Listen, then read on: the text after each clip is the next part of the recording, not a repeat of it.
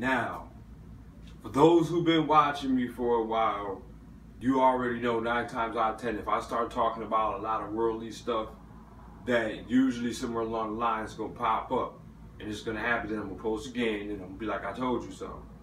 So, isn't it funny that I just posted the scripture? All right, first, let me rewind a little bit more further back. Isn't it funny that I went all the way back to the 401st video and I said, Who are you?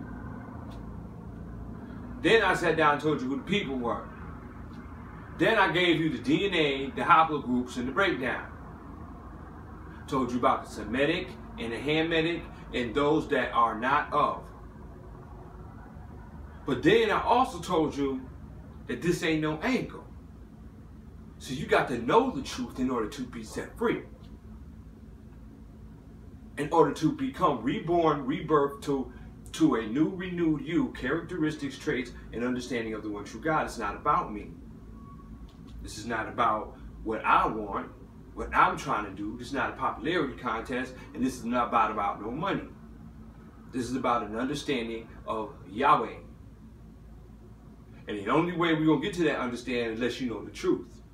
So I don't do this out of my own understanding, but of Yahweh's understanding. So with that being said, I sat down and also told you who the people were, all right, and the delusion that the false ones fell under.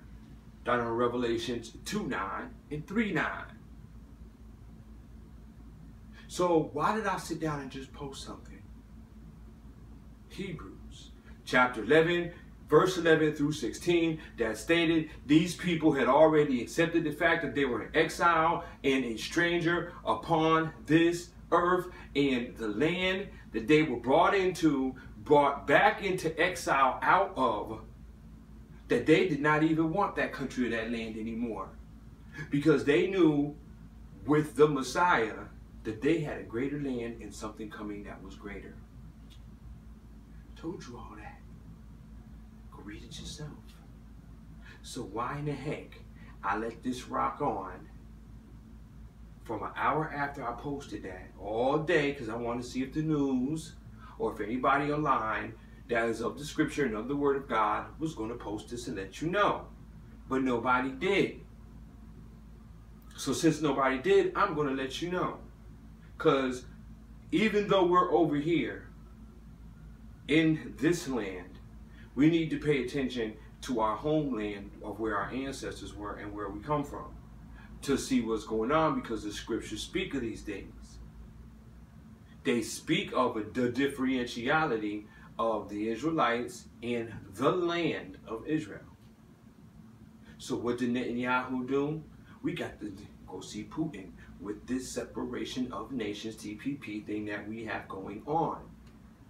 You can only go over there but so many times and keep talking to him about Syria and how, and how you're going to bomb him. You can only shake his hands and smile and buddy up but so many times. But see, I'm going to use the characteristics in a trait to let you know one thing with a little metaphor. Let's say that you in the hood. You got your, your people over here, y'all doing business, it's whatever, whatever, but you don't get along with that side of town or that hood over there.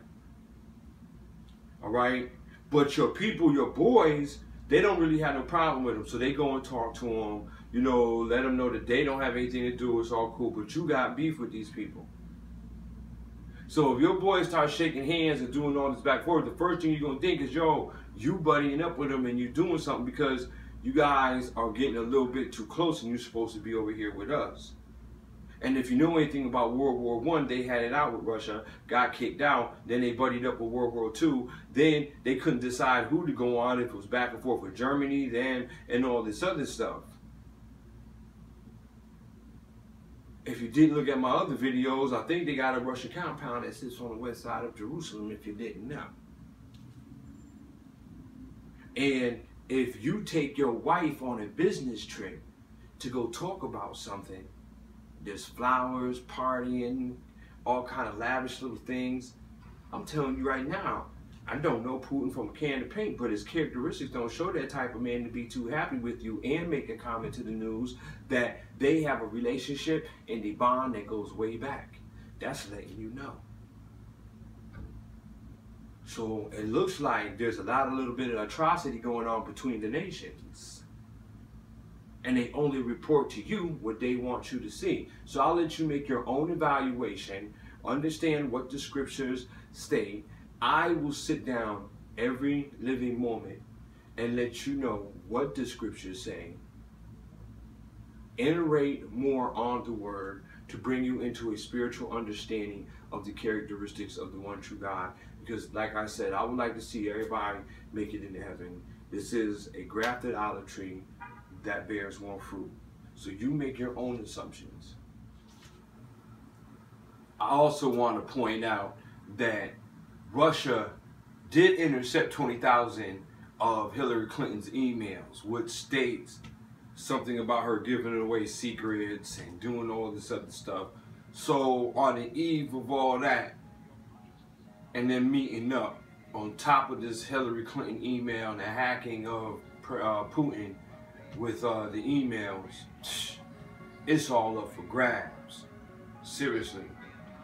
And at this time, like I said, with the separation of nations, it, you really, really got to pay attention to what's going on outside of the box and stop worrying about the inside.